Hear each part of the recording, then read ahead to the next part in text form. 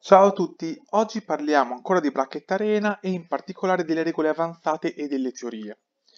La premessa fondamentale è guardate il primo video, se non l'avete visto forse non capirete nulla. La seconda, ancora più importante, è che alcune cose le abbiamo testate nei nostri castelli, nei nostri team, nelle arene, altre le abbiamo dedotte.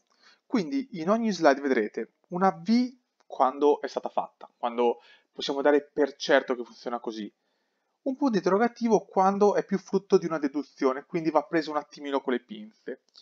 Io so che questo video troverà qualcuno che dice no, non sono d'accordo, non mi risulta. Ok, ben volentieri parliamone, io sono sempre aperto. Prima di cominciare, piccolo test. Eh sì, oggi faccio anche i test.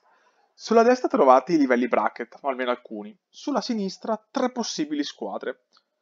Guardate la prima, la seconda e la terza provate a immaginare il loro bracket. In che bracket arena vanno? Questa è la risposta. Se avete sbagliato, vi consiglio di tornare indietro, forse vi manca un passaggio e non riuscirete a capire. Però mi serve anche per dimostrarvi una cosa.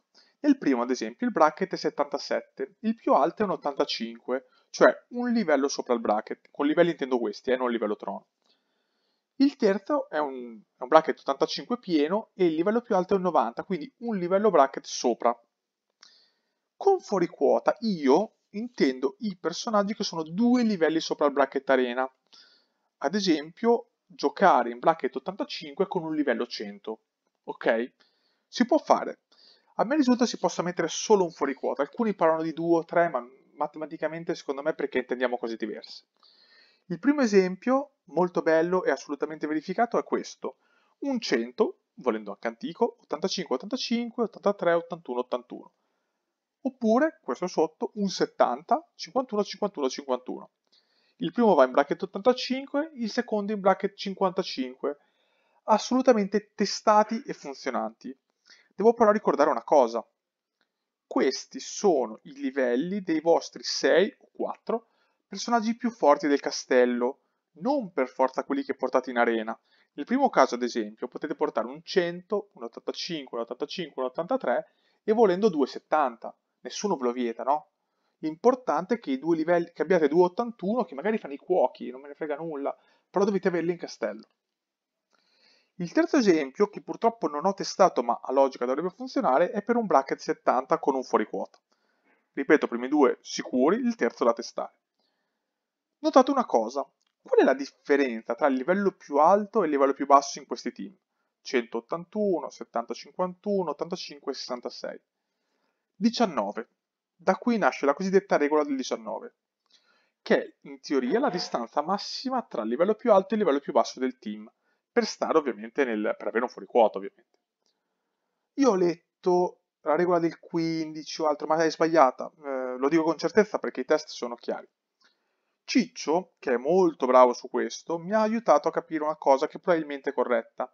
Lui dice che la regola non è 19, ma in realtà bisogna guardare la sala addestramento. Esempio, se voi avete un 100, avrete una sala d'addestramento a livello massimo, che addestra da 86 a 100.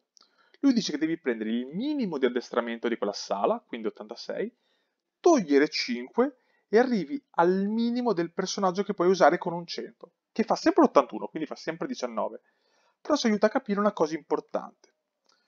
Uh, come spiegato in altre guide, il trono non influenza il bracket, ma la sala d'addestramento sì, lo fa con certezza.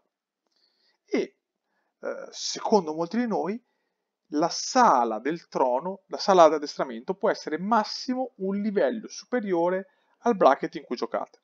Provo a spiegarlo con un esempio concreto. Se giocate 85, 85, 70, 70, 70, andrete in bracket 77, è chiaro. Ma cosa succede se alzate la sala d'addestramento a livello massimo, quindi per arrivare fino a 100?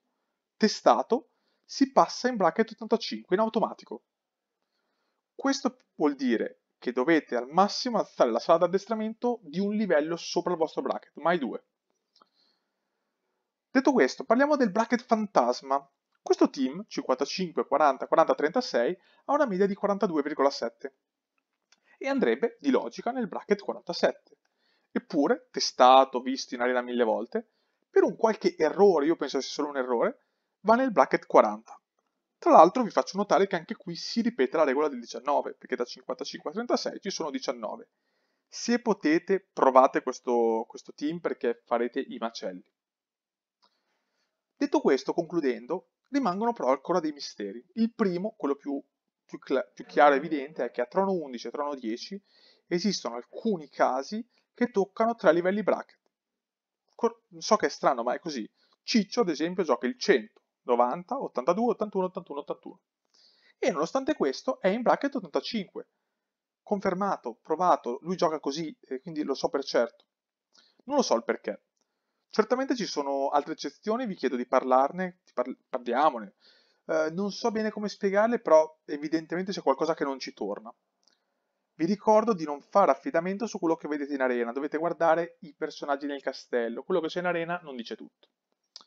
Detto questo, in conclusione, eh, nello scorso video abbiamo regalato i primi diamanti, mi scuso, effettivamente la scelta di farlo in ordine cronologico è un po' discutibile, questa volta cambierò, estrarrò a caso chi commenta con il suo ID su YouTube o Facebook, quindi sulla pagina Stelcastel Italia Official.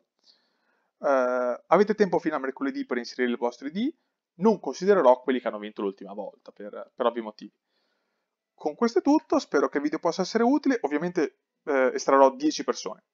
Vi saluto e buona domenica. Ciao!